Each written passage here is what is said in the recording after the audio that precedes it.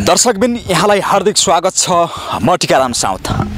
दर्शकबिन आज हामी तपाईँलाई एउटा यस्तो दृश्य देखाउन चाहन्छौँ। नेपालको एउटा यस्तो राजनीतिक दल जो जनताको दुःख सुखमा साथ दिइरहेको छ। यस्तो राजनीतिक दल जो यति बेला चार बिघा खेतमा आफै नेता कार्यकर्ता विद्यार्थी सङ्गठनहरू बिउ राख्न पुग्नु भएको छ। देशमा थुप्रै राजनीतिक दलहरू पार्टी खोलेर बसेका छन्। ती राजनीतिक दलको एउटै उद्देश्य हो कुर्सी प्राप्त गर्ने र देशलाई कसरी लुट्न सकिन्छ भनेर राजनीतिक अखडा बनाएर बसिरहेका हुन्छन्।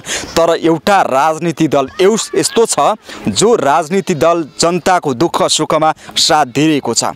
तपाईँलाई विश्वास लाग्दैन भने वैज्ञानिक मिडियामा गएर प्रत्यक्ष हेर्न सक्नुहुन्छ।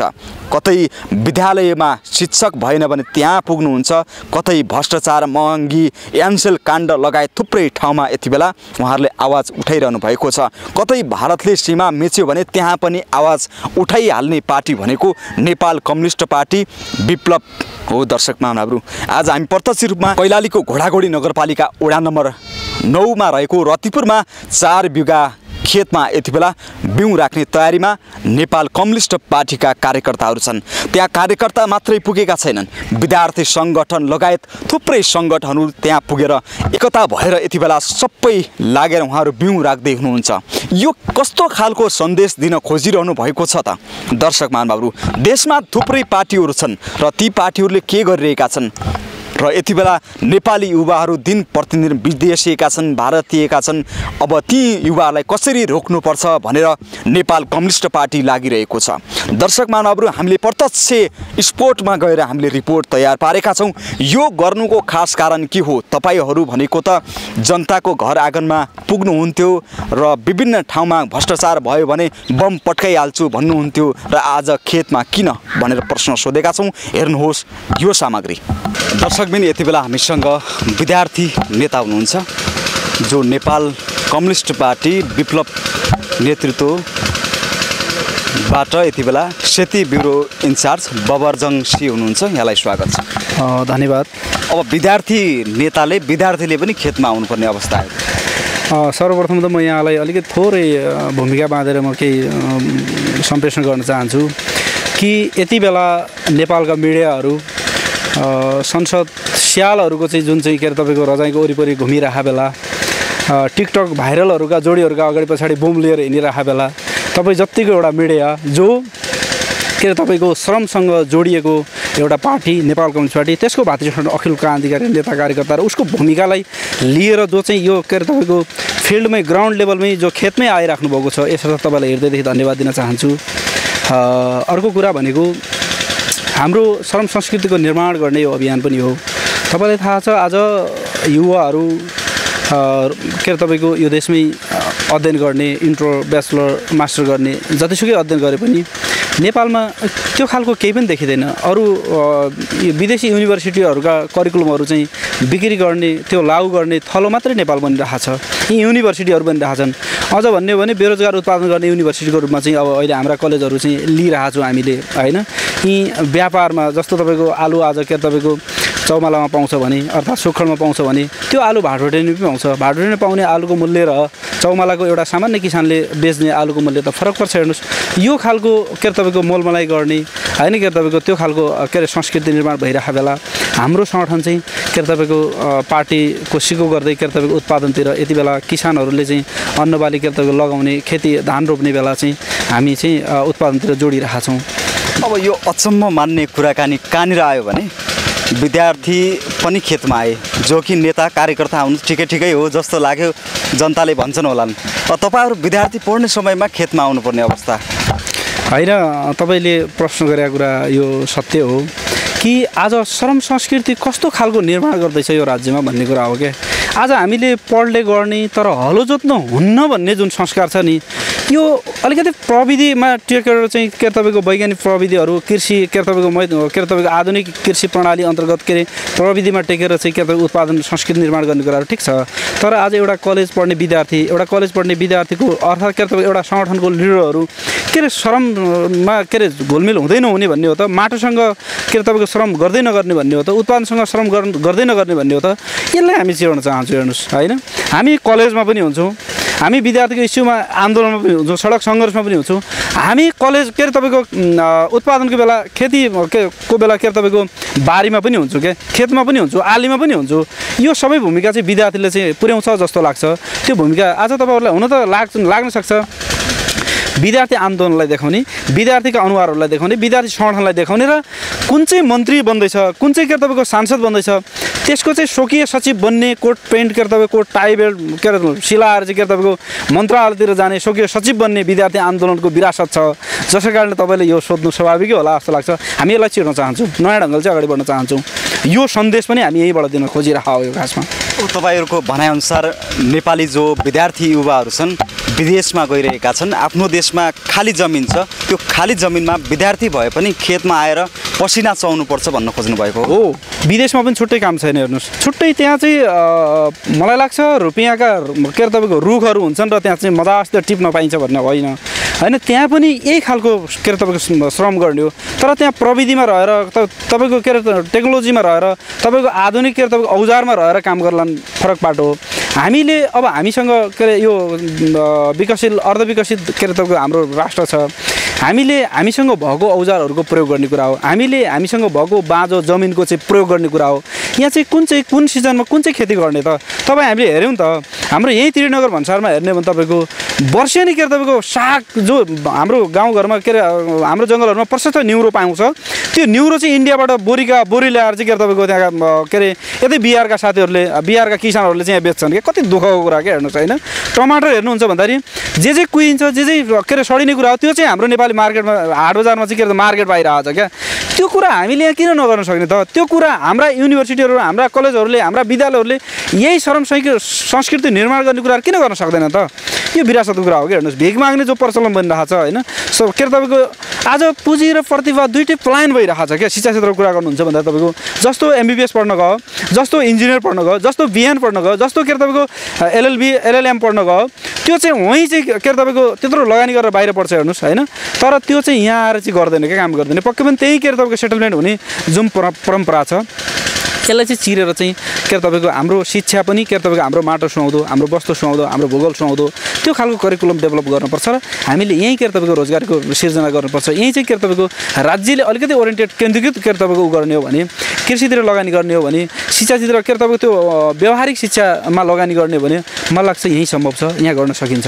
अब तपाईँले तरकारी भारतबाट आउँछ भन्नुभएको छ। यो सबैलाई जानकारी भएको अवस्था पनि हो। र नेपाललाई कृषि प्रधान देश पनि यहाँका सरकारले भन्छ र नेताले पनि भन्छन्। अब तपाईँ विद्यार्थी हुनुहुन्छ जो अब तपाईँहरू धान रोप्दै हुनुहुन्छ आज बिउ राख्दै हुनुहुन्छ अब यो धान फलाउनुहुन्छ धान फलाइसकेपछि तपाईँहरूले उचित मूल्य पाउनुहुन्छ त? होइन यो त पाउनुपर्छ हेर्नुहोस् हुन त दुःखको कुरा भन्नुपर्छ। यहाँका किसानहरूले तपाईँको धान उत्पादन गर्छ तर त्यो धान चाहिँ भण्डारण गर्ने क्यापासिटी चाहिँ हाम्रो किसानहरूसँग छैन क्या। त्यो धान पहिला इन्डियन मारवाडीहरूले चाहिँ खरिद बिक्री गर्छन् उताबाट पलिस लगाएर के अरे तपाईँ कुहिएको धान चाहिँ के अरे तपाईँको चामल बनाएर चाहिँ यहाँ सप्लाई गर्छन् क्या। यो दुःखको कुरा भन्नुपर्छ? जस्तो यो कृषिको कुरा मात्र होइन। तपाईँको जलस्रोतको होइन हाम्रो चाहिँ के अरे विश्वको दोस्रो धनी देश हो। आज हेर्नुहुन्छ भन्दाखेरि कुनै पनि के अरे तपाईँको विदेशी पर्यटकहरूले नेपालको पानी फ्याउँदैन क्या। बाहिरबाट पानी लिएर आउँछ क्या। क अरबौँको पानी आयात हुन्छ। यो त हामीले बुझेकै छौँ हेर्नुहोस्। चामल पनि हामीले हाम्रो आफ्नो उत्पादन हाम्रो आफ्नो किसानहरूले कहाँ खान पाउँछ त आज? त्यो भण्डारण त्यो खालको क्षमतै छैन क्या। राख्ने त्यो के अरे तपाईँको केन्द्रीय शासन प्रणालीले त्यो गर्दै गर्दैन क्या आज। जहाँ चाहिँ के अरे तपाईँको कमिसनका भरमा बिक्री भइरहेको छ आज हाम्रो देशको सबै संरचनाहरू जबसम्म शासकीय स्वरूप परिवर्तन हुँदैन नि तबसम्म यो त के अरे तपाईँको फरक कुरा भइहाल्यो हेर्नुहोस्। तर हाम्रो कुरा के हो भन्दाखेरि हामीले चाहिँ अलिकति कम्युन टाइपको चाहिँ भूमिका निर्वाह गरिरहेको छौँ। यसलाई चाहिँ के अरे तपाईँको हामी आफैले चाहिँ प्रयोग गर्ने अनि भएको किसानहरूलाई पनि यो खालको चाहिँ के अरे तपाईँको उत्पादन प्रणालीलाई चाहिँ अभिप्रेरित गर्ने होइन सृजनशील के अरे कार्यहरूमा चाहिँ के अरे तपाईँको उ गर्न जोड्न लगाउने होइन यो हामीले अलिक मोडल काम गर्ने भन्नु खोजे हो होइन। अझ हामीले अहिले पढ्ने मूल्यभन्दा हामी हाम्रो आफ्नो उत्पादन आफ्नो श्रम लगानी भयो भने हामीले त्यो खालको के अरे तपाईँको सहज ढङ्गले अलिकति के अरे तपाईँको सस्तो मूल्यमा चाहिँ हामीले मार्केटमा दिन सक्छौँ। हामीले भण्डारण गर्ने भने त्यो बिक्री नहुने चान्सेस छैन यो बिक्री हुन्छ हेर्नुहोस् होइन? गर्न सकिन्छ। हुन्छ भन्नेमा हामी विश्वस्त छौँ। हामीले उत्पादन गरेको हाम्रो पार्टीले उत्पादन गरेको हाम्रो के अरे तपाईँको हामी श्रमसँग जोडिएको कुरा हाम्रो नेपाली के अरे तपाईँको उपभोक्ताहरूले प्रयोग नगरला भन्न सकिन्छ। गर्नुहुन्छ पक्कै पनि गर्नुहुन्छ होइन? यो कुरा तपाईँहरू जस्तो मिडियाहरूले म मानिलिउँ कि यति कुरा यो के अरे तपाईँको जनता सामु सामु पब्लिक समुदाय सामु चाहिँ पुग्ने हो भने अन्त जानुहुन्न। होइन अरू विदेशी उत्पादनहरूलाई चाहिँ प्रायोरिटी दिनुहुन्न। हाम्रो आफ्नो उत्पादनलाई चाहिँ प्रायोरिटी दिनुहुन्छ भन्नेमा हामी ढुक्क छौँ। यो चाहिँ विश्वस्त छौँ हामी चाहिँ। सरकारले त भन्छ धानहरू उत्पादन भइसकेपछि विभिन्न मूल्य निर्धारण गरेको हुन्छ तर मूल्य चाहिँ जनताले पाएको हुँदैनन्। त्यसै गरी तपाईँहरूले पनि धान उत्पादन धेरै ठाउँमा यति बेला गर्ने तयारीमा हुनुहुन्छ। अब पाउनु भएन भने के गर्नुहुन्छ भन्ने प्रश्न हो। दुःख त छ तपाईँले भने जस्तो सरकारले मूल्य निर्धारण गर्ने भने यो सरकार भने त कस्तो भइदियो भन्दाखेरि अब यसलाई सरकार भन्ने के भन्ने एउटा होइन यो यो दया लाग्ने विषय भइहाल्यो। आज हो। तपाईँको अब यो के अरे जेठको करिब करिब हामी आज उन्नाइस बिस गतितिर छौँ एक्काइस के अरे उन्नाइस गतितिर छौँ आज हामी होइन?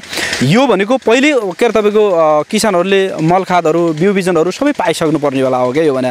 अहिले पनि आजको दिनमा पनि हामी भन्न त एक्काइस शताब्दीको नागरिक भनौँला त्यो खालको उत्पादन प्रणाली भनौँला तर अहिले पनि आकाशे पानीको भरमा चाहिँ के अरे त खेती गर्नुपर्ने किसानहरूको बाध्यता बनिरहेको छ क्या।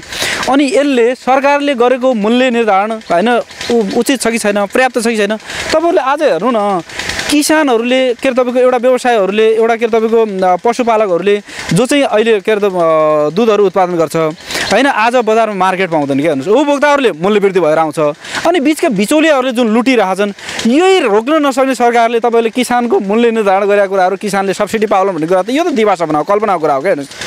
तर यो कुरा चाहिँ हामी आफै नागरिकहरूले बुझ्न जरुरी छ क्या अब? तपाईँहरूले जसरी नागरिकहरूले पाइरहेका छैनन् तपाईँहरूले उत्पादन गर्नुहुन्छ त्यो बजारमा लिनुहुन्छ अब तपाईँहरूको पार्टीले पाएन या तपाईँहरूले पाउनु भएन भने के खालको आन्दोलन हुन्छ त? होइन हामी त उत्पादन प्रणालीमा चाहिँ पहिलो कुरा भनेको किसानहरूलाई चाहिँ सरिक गर्न चाहन्छु। आज देशका पार्टीहरू लुटिरहेको बेला कमिसन अहिले तपाईँहरूले हेर्नुभयो भने अब असाढ मासमा त यो बजेट के अरे तपाईँको योजना नयाँ योजना निर्माण गर्ने पुरानो योजना चाहिँ फर्च्युट गर्ने जुन योजना हो पाहाडतिरबाट थुप्रै नेता कार्यकर्ताहरू अब तपाईँको धनगढीका परे प्रता- प्रत्येक होटेलहरूमा चाहिँ अब तपाईँहरूले कोठा पाउनुहुन्न। तिनीहरू योजना खरिद बिक्री गर्नका लागि केन्द्रीकृत भइहाले। अनि यो विषयमा चिन्ता त छ नै। होइन? त्यो बेला केही मान्छेहरू दलालहरू चाहिँ के अरे तपाईँको केन्द्रीकृत भएको बेला योजना के अरे तपाईँको विकास योजनाहरू खरिद गर्ने लागेको बेला चाहिँ हामी चाहिँ उत्पादन के अरे बढाउँ र के अरे रोजगारी बढाउँ भनेर चाहिँ हामी जुटिरहेको छौँ। यो किसानलाई अभिवृद्धि गरिरहेको छौँ। यो नयाँ कुरा हो फरक कुरा हेर्नुहोस् होइन? कतिपय पार्टीहरू अहिले सत्ता के अरे शक्तिको आडमा चाहिँ जुन चाहिँ दलाली गर्ने भ्रष्टाचारी गर्ने अझ भन्यो भने सरकारहरू चाहिँ के अरे तपाईँको कमिसनतिर के अरे तपाईँको आफ्ना मान्छेहरूलाई भर्ती केन्द्र गर्ने सेटिङतिर यतातिर लिप्त भइरहेको बेला होइन? हामीले जुन चाहिँ उत्पादन प्रणालीलाई चाहिँ आत्मसात गरेर अगाडि बढ्यौँ होइन? यो विषय चाहिँ सबैले चाहिँ शिरोधार्य गर्नुपर्छ आत्मसात गर्नुपर्छ भन्ने कुराहरू हाम्रो। यो हाम्रो मात्र विषय होइन।